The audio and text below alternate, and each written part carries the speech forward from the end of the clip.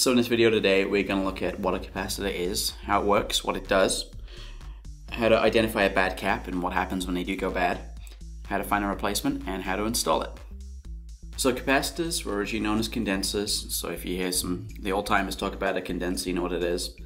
Basically, they're used to store charge. They're able to get rid of that charge very quickly, and like a battery which discharges slowly, these can do it almost instantly. In a power supply, generally you're going to see aluminum caps like this, and possibly some of the the polyester st style like that. Generally, they're going to be used for either filtering out DC because they allow AC to pass through, or they're going to be used to help filter and, and to steady a DC voltage going out to the main board or to the T-con, something like that. What happens when a capacitor goes bad? Capacitors are affected by temperature and voltage. If they're rated for a certain voltage, like this one's rated for 35 volts, and you happen to expose it to a higher voltage, you may find that the cap starts to fail prematurely. Also, temp will cause it to fail prematurely. When they begin to fail, they may start to produce gas inside of them, which will result in the tops becoming puffy. If it's bad enough, the top might burst open and allow the, the dielectric inside the the insulating layer to ooze out. So you'll often see a brown substance on top of the, the cap and sometimes on the board as well. Certain capacitors, if they happen to fail spectacularly, can actually blow the casing completely off and you'll be left with something that looks like that on the board. And you'll see kind of like a paper outside and uh, the little rubber stopper on the bottom and not much else. And on some TVs, some power supplies, you'll see that all the time and they'll blow completely off the board. So here we've got a couple more examples of bad caps. As you can see the tops on these, they're blown open and some of the dielectric is oozed out from the inside. And that happens just with the heat that gets generated inside the cap when it starts to short out and fail. This one here is close, the top's puffy, but it hasn't actually blown open yet. But again, this one would be bad, and if you saw that on your board, you would need to replace it. The common issues for bad caps tend to be the TV not powering on, the TV powering on but taking multiple attempts. The multiple attempts will probably take more and more as time goes on and the cap starts to dry out even more. Usually once the TV comes on it's going to function normally, but again once you power it off and try and turn it back on you're going to hit those issues where it doesn't want to start up.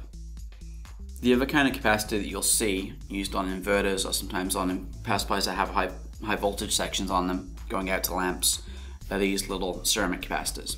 These are often used for feedback from the lamps, and if those go bad, they generally don't they, they don't go puffy like a you know the aluminum caps like these. What they're gonna do is usually show a burn spot or they can crack and fracture. If those go bad, generally it acts like a bad lamp. The TV may come on briefly, and then the backlights might shut off. The rest of the TV could stay on, but your backlights are gonna turn off.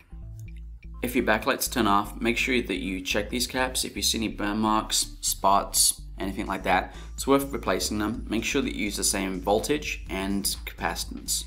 They're really picky on these little feedback circuits. If you don't put the right one in, it won't work. This style here, the kind of the polyester cap or the Teflon cap, generally these again don't go puffy, but you'll often see burn marks. You sometimes see that one side will become uh, kind of extended or bubble up more just because there's more heat generated there. Again, usually they're pretty easy to spot. Just check for burn marks and cracks on the cap. Identifying bad caps. Well, as we just mentioned, bad caps usually show up with puffy tops, and we have a little example right here. This one right here.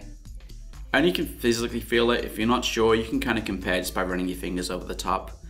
Sometimes they can be a little confusing, the little crosshatch pattern on the top can sometimes make it look like it almost has a bump, but if you run across multiple, you'll feel that one definitely has a raised top. As you can see on this one, it started to actually open up, there's a little brown spot. Sometimes if the TV is running, you'll actually get smoke or steam pouring out of these as they start to heat up and dry out and start to short. Sometimes the casings will blow off and it will look like that. It'll just be the inside, which is usually some kind of cardboard or paper inside of there between the two layers of aluminum. So for testing, if you only have a multimeter, uh, usually you're gonna have to take the cap off the board to make it work properly to check a cap. If it's on there and there are other capacitors nearby or resistors, it can affect the results. So if you remove it, that's the best way to check. So we've set our meter to capacitance and I'm going to put a probe on each leg and see what it reads. And right there it's reading about 270 or so and dropping. And if we look at this cap, it's meant to be 680 microfarads, so we know that it's defective. Usually your capacitor is not going to read exactly what it says on the label.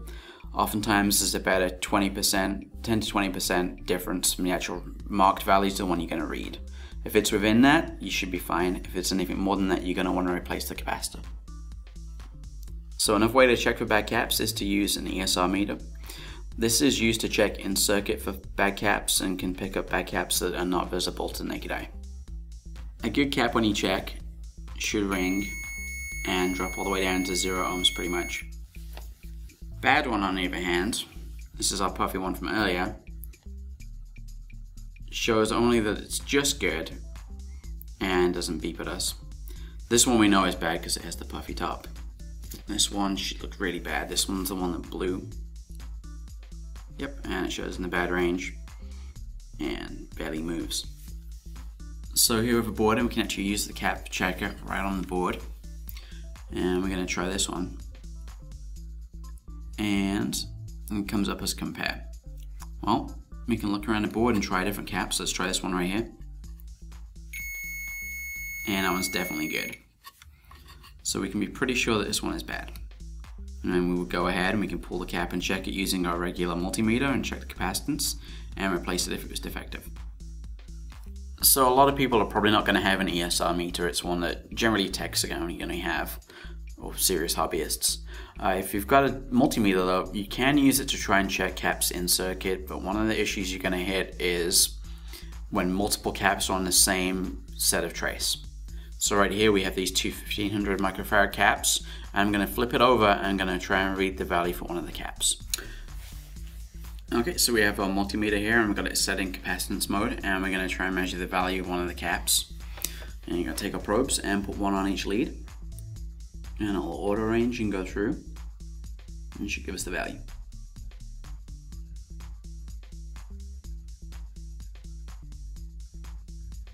And it's coming up at about 3 millifarads, which is 3000 microfarads. And we know from turning the board over that these should be this cap should be 1500 microfarads. The reason we're getting the wrong value is that we have these two caps in parallel. And unlike resistance, when you put caps in parallel, they add together. So if you get a, a, reading that you're not sure of, make sure that you check and see if there's any other capacitors on that same line that are together in parallel. Make sure you add the values together and that should tell you if your reading is correct. Since we have the two 1500 microfarad caps in parallel, it should be reading about 3 millifarads or 3000 microfarads and that's exactly what we got on the reading. So we know that these caps are good. Thank you for watching one of our many tutorials here at ShopJimmy.com. If you have any further questions regarding your repair, simply post a question in the comments section below or call our award-winning customer service team at the number on your screen. We strive to learn and share new TV repair tips every day. Subscribe to our YouTube channel and grow with us. Share our videos with your friends and help us spread the savings. And don't forget to hit that like button